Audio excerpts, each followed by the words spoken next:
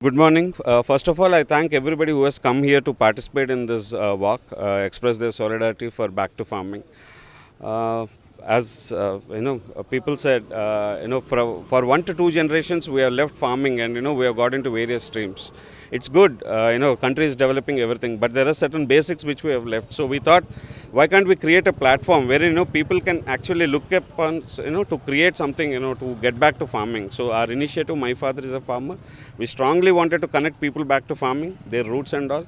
We are doing a lot of programs. Uh, we are doing farmer, uh, you know, uh, farming awareness programs. Then assistance in farming, somebody who wants to come back to farming. And we are also uh, being part of major initiatives like uh, from April 22nd to 24th, there is an agri hortitech exhibition which is happening.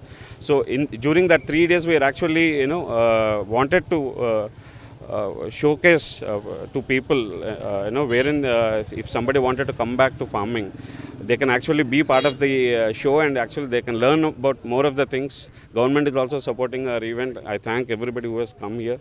So back to farming. The first time we are doing this walk, uh, we have started our initiative a few months back. Uh, we have done uh, programs. We are all, uh, you know, motivated few people already to get back to farming, and there are four farmers, you know, four IT professionals who has already got back to farming.